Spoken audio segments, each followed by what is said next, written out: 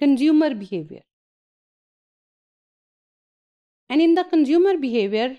first we have to study what is the theory of consumer behavior and why we are going to study the theory of the consumer behavior. What is the logic behind? Because the people they want to decide how they are going to spend their income, how they are going to spend their money, and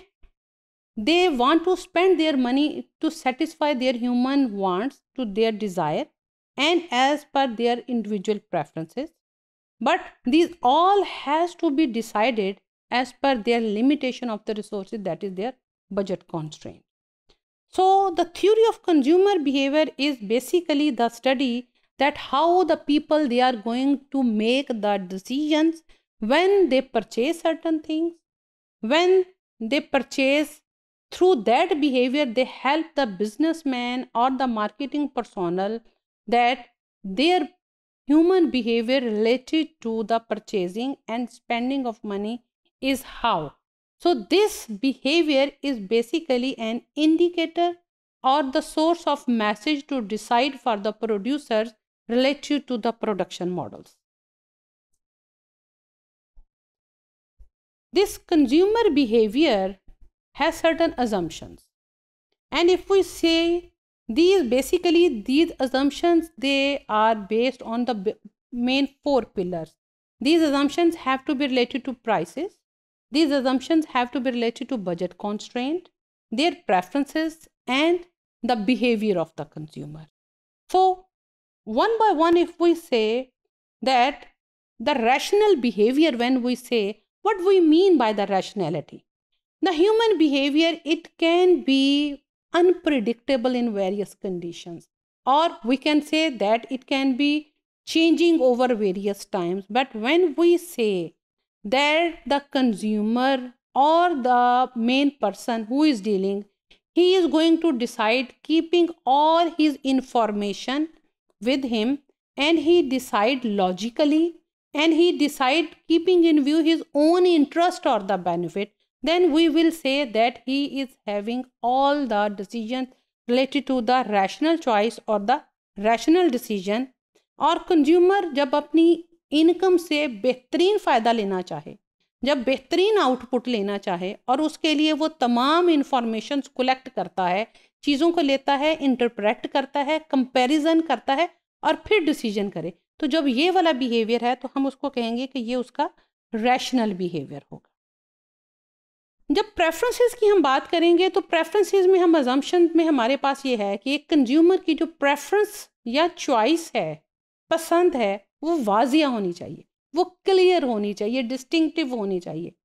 If any consumer is going to prefer quantity A to quantity B तो वो clearly कहे कि yes A is prefer to B और either B is prefer to A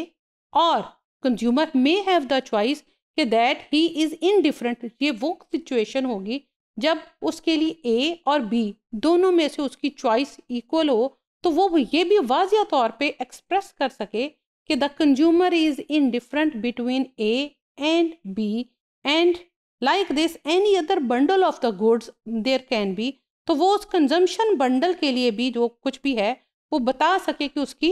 preferences क्या है। जब budget constraint के ऊपर हम अपनी एजम्पन की बात करेंगे कि वो हमारे पास क्या है तो हम कहते हैं कि जो कंज्यूमर का बजट है, वो एक पर्टिकुलर टाइम ऑफ़ एनालिसिस या दूसरे फॉर्म में हम कहें कि उस पर्टिकुलर टाइम ऑफ़ परचेज पे लिमिटेड होगा। हो सकता है एक शख्स के पास अनलिमिटेड अमाउंट में इनकम हो, लेकिन जिस टाइम वो मार्केट में जा रहा है, उस टाइम पे जितनी अमाउंट है, वो उसके लिए उस टाइम का बजट कहलाएगी। या एक कंज्यूमर के पास आज कुछ इनकम है, दो दिन के बाद कुछ और हो सकती है तो टाइम से भी ये वेरी कर सकती but that point of decision पे जब हम जाएँगे तो उस पॉइंट के ऊपर जो लिमिट वो अपने जहन में रखता है कि ये मेरा वो बजट है जिससे मैंने एक्सीड नहीं करना तो ये उसका बजट कॉन्स्ट्रेंट और इसके रिलेटेड उसकी अजम्पन्स मौजूद होने चाहिए। और हम उस पर कहें कि किसी के पास जितनी भी इनकम हो कितनी भी दौलत हो, लेकिन कहीं ना कहीं पे एट द एंड पे जाके वो महदूद हो जाती है। तो that limit it gives the shape of the preference related to the budget constraint एक चौथा पॉइंट जिसके बारे में हमें अपनी एजम्पन की ज़रूरत है, वो है प्राइसेस प्राइसेस के लिए अगर हम देखें प्राइसेस एक्चुअली वैल्यू शो करती हैं। किसी भी चीज़ की कीमत मार्केट के अंदर जो है, ये उस चीज़ की स्केर्सिटी को इंडिकेट करती है। उसकी वैल्यू को शो करती है। तो अगर हम यहाँ पे कहें कि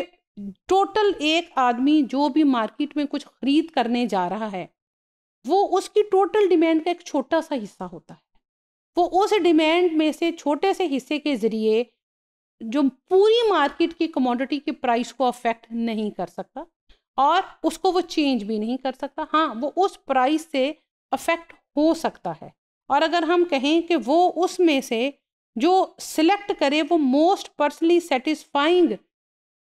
combination goods का होगा या सेटिस्फाइंग बंडल ऑफ़ सर्विसेज़ होगा, जिसके लिए वो जो कीमत तय करता है, जो ऑफ़र करेगा, वो क्लियरली एक्सप्रेस करके तो वो परचेज कर सके और उस कीमत को वो मुख्तलिफ़ टाइम लेवल पे मुख्तलिफ़ तय कर सकता है, जो कीमत वो समझता है कि ये उसकी ह्यूमन वांट को सेटिस्फाई करेगी। तो एक चीज़ जिसकी उसको बेतहाशा ज़रूरत होगी, ये बिल्कुल वैसे ही है, जैसे बारिश हो रही हो और कंज्यूमर को छतरी चाहिए बारिश से बचने के लिए तो वो हो सकता है। कीमत जो दे, वो, वही सिचुएशन जब बारिश ना हो रही हो तो वो उसको ऑफ़र ना करे। तो इसीलिए ये प्राइसेस को भी अगर हम देखें तो उसकी भी कुछ अजम्पन्स को हमें देखना होगा। और इन तमाम चीज़ों को जब अगर हम मिला के चारों जम्पन्स की बेस पे हम देखें तो जो हमारा एक कंज्यूमर बिहेवियर का बेसिकली रूल है that is the utility maximising rule और वो यूटिलिटी मैक्सिमाइजिंग रूल कहेगा कि कंज्यूमर हमेशा विद इन बजट डिसीज़न करेगा। उस बजट के अंदर रहते हुए वो कीमतों के उतार चढ़ाव का असेस भी करेगा, वो प्राइसेस को वैल्यू के साथ रिलेट भी करेगा, वो अपनी प्रेफरेंसेस को प्रॉपरली एक्सप्रेस भी करेगा और डिसाइड करेगा कंपैरिजन करेगा। और इन सब चीज़ों को करने के बाद वो जो डिसीज़न करेगा, वो उसका रैशनल होगा। जब इन तमाम को वो करने के बाद एक पॉइंट पे पहुँचता है तो ये वो पॉइंट होगा जहाँ पे उसकी तलब या उसकी सेटिस्फेक्शन मैक्सिमम है बेस्ट है। और अब उसके अंदर अगर वो एक भी चीज़ और ख़रीदता है जो उसने पहले ली है तो उसकी यूटिलिटी उस पॉइंट पे कम होना शुरू हो जाती है तो यूटिलिटी मैक्सिमाइजिंग रूल पे अगर हम फॉलो करते हैं कि जैसे जैसे किसी एक शय को वो ज़्यादा क्वांटिटी में लेता जाएगा, उस शय के लिए उसकी तलब या उसकी यूटिलिटी या उसकी सेटिस्फेक्शन